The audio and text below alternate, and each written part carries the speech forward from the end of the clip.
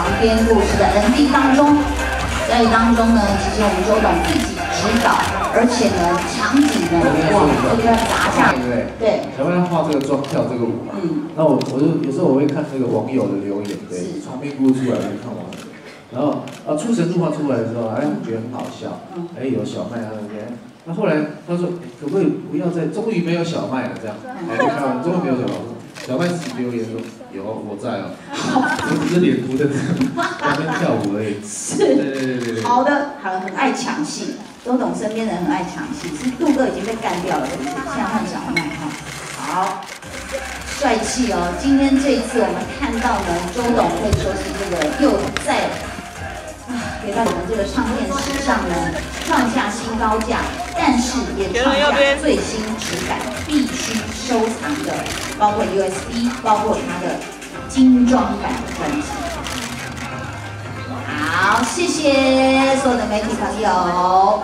哎，周董好，好。对对对，谢谢各位媒体朋友，所以我第十四张专辑，从第一张专辑就是团姐主持的哦，谢谢。时间过得非常的快。对呀、这个十十四张专辑了，到这一张我们都在想说，哇，周董又可以变出什么新花样？就看到 MV，再看到这个 title《床边故事》，为什么会有这样的一个想法？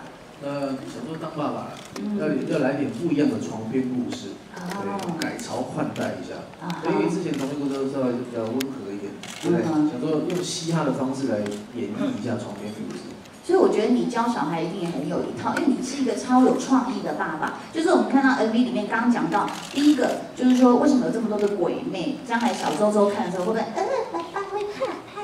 有那种鬼啊大法师这样还对跳舞，对对对，嗯，因为小时候我们看大法师，其实那是我们小时候的记忆嘛，对对对啊对啊。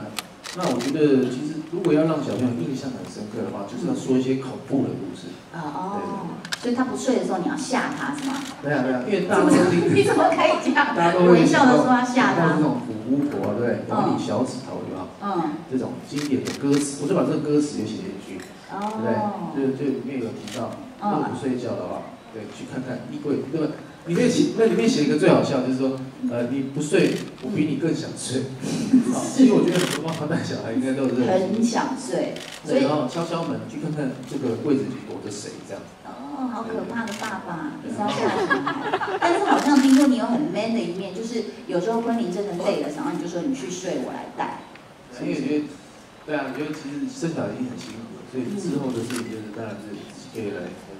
好 man 哦！而且在这当中，我说为什么当他小孩会，你知道有一个很有创意的爸爸，是因为他把世界名画全部融在里面，真的很美。那我刚刚其实也有问你说，对那、你自己为什么没有想到那个维纳斯是全裸？你嗯不想全裸吗？因为你知道，就是就是当个爸爸要有爸爸的样子，但是不能有爸爸的肚子。稍微的现在最近六块又团结有点了是吗。对对对，因为看，哎，不最近阿妹的不好意思哈，右手也稍微练一下，哦，只练右手，对。那吓我一跳，我看阿妹的右手跟阿妹的 MV，对对对，所以其实有时候觉得，哎，这个这个自己要提醒一下自己，对对对，就是当爸爸的样样子出来的时候，其实还是要稍微，你知道，也要练一下。态啊，稍稍微自己要注意这样。但是因为你人生又到不同的阶段，事实上我们看到你的音乐创作或是视觉上呢，又几乎又有更多的灵感的感觉。对对对对，其实真的会这样，嗯到了不同的境界的感觉。对，所以其实，呃，我觉得这个幽幽默感哦，跟创意其实一一直都要有的。那我觉得这个拍 MV 才会非常有趣嘛，啊，大家才会觉得哎有意思啊，而而不是说啊发到第十四章的时候，好像已经觉得很乏味了，MV 随便乱拍一下的。其实它不是一个功课，我我在做这件事情的时候，它不是在教功课的感觉。不过还是要麻烦基督奖的评审稍微看最佳的 MV 这个入围者。对，因为看你工作的情形，又知道你对每一个细节的要求，然后也我很荣幸的周董有帮我导过了 MV，然后我那时候看说哇，他场景的设计他完全有想法之外，拍摄，然后哇镜头，然后呢再来他现场剪，他现场剪真的有吓到我，我说你现在就剪啊，他说对，而且他要求的节拍节奏一定要有在这上面，所以这次床边故事的时候，我看到里面那么多那么多的场景也是你自己就是一开始就设定好，包括应该都想好，因为呃要符合我的这个专辑啊，专辑里面像像就是走这种比较立体立这个呃立体童话有声书，对对对对那种那样子的感觉。所以其实，呃，那做 CG 其实很早就做了，所以这个这个歌等于是从去年就拍，应该这样讲，去年开始做动画，已经先跟我们沟通，这时候我要做什么，这时候要做什么。哦，所以脑中的画面其实告诉他，这个歌词到这一句的时候，嗯因为你要保留长度，让他去做 CG 嘛。嗯，所以那时候就哎，先有这个画面，然后呃是在发片的前几个月把这个 MV 拍掉，那拍已经拍完了，但是实际还没做完啊。嗯，所以是在上之前的前一天，我们还在改哦。比如说，苹果丢过来的油画，这个这个油画可不可以再改一个方式？所以其实很累，你们看到只是哎短短，但是其实他们做的很辛苦的。做了好久哎，所以你这个真的是大制作，就这如果没有入围，我真的觉得非常的奇怪。有听到吗？开玩笑，开玩笑。是，而且刚刚讲的像幽默感，在另外一集《Now You See Me》里面，哈，其实突然看得到可以运用的时候再加进去。没错。所以我那时候也看到，他就说，好，那个那时候那是摇臂很大的一个机器，我们大概开到半夜很累了，然后周董说好了可以收，然后我说真的哇，眼看要收工，然后摇臂就整组工作人员就开始往外拉，往外拉，往外拉，然后结果呢，等到我们觉得要收工的时候，周董突然说，哎，不对，还要再来一个。所以摇臂又继续，本来都已经大家要回家又进来，所以其实你的灵感来的非常快。对，电光火石接招一下。啊，那当然，其实在这个呃刚刚讲到还有一部剧作，好，就是跟阿妹的合作。对对对对对。昨天的凌晨惊吓才要上的，原本是这样。嗯。对。结果。结果就是不该，对，不该流出去。流出去。对，偷用一下你的梗。对。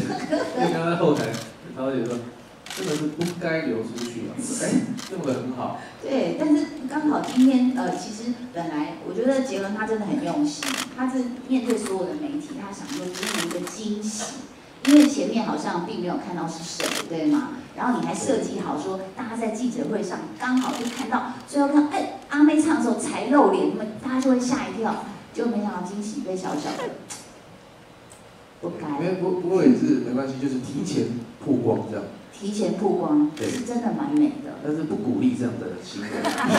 是 是是，这这是真的啦。专辑封面也是这样，我真的觉得这些人真的是，昨天我在练团，其实我听到是非常生气的，因为这从前几天我想到啊，我跟阿妹他们讲，我说哎，我们来弄个神秘感。对。就是有一次这个这个而且呃有一个颁奖典礼，嗯，那时候大家访问说什么时候合作啊？其实我们自己偷笑的，我就拍我。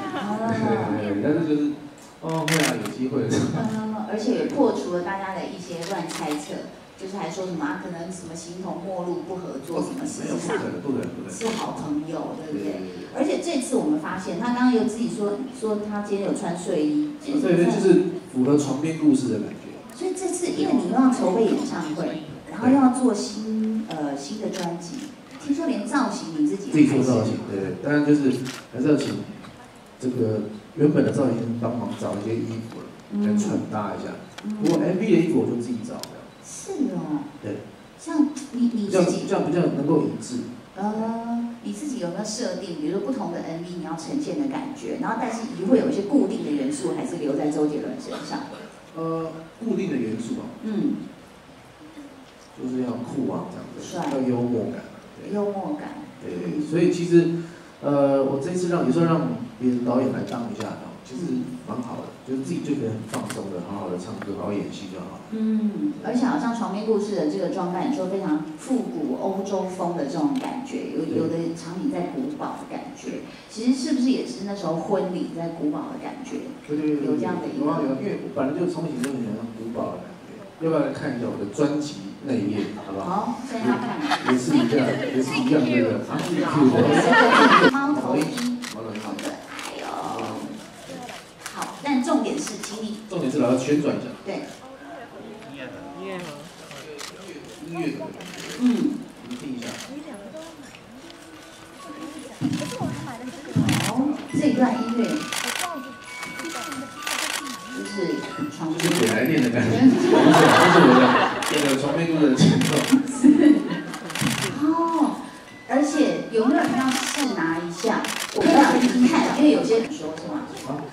有吗？哦，好，包装跟剧情有关的都是可以。再说一下，对不对？嗯，就是啊，我知道里面的音乐啊，不用听得太仔细，没关系。我们的高中的 MV 呢，其实要仔细看一下，真的蛮用心的。啊，对，其实看到我觉得很难得。当现在所有都数位化之后，可能很多的唱片公司可能是没有预算，可能也没有心思去把这个实体的做得更好、更精美。可是你一直在 level up，你一直把它做得更值得收藏哎。